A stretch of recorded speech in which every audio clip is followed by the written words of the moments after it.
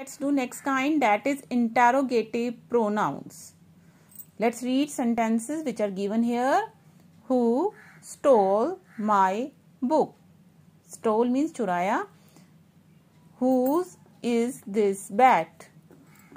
What will you do now? Which is your pen?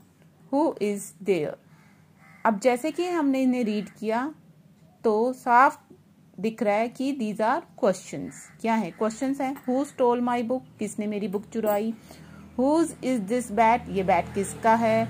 What will you do now अब तुम क्या करोगे? Which is your pen तुम्हारा pen कौन सा है? हु इज़ देयर कौन है वहाँ?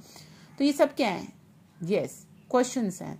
So pronouns which are use for asking question are called interrogative pronouns so so, जो प्रोनाउन क्वेश्चन पूछने के लिए यूज़ होते हैं उन्हें हम इंटेरोगेटिव प्रोनाउंस कहते हैं।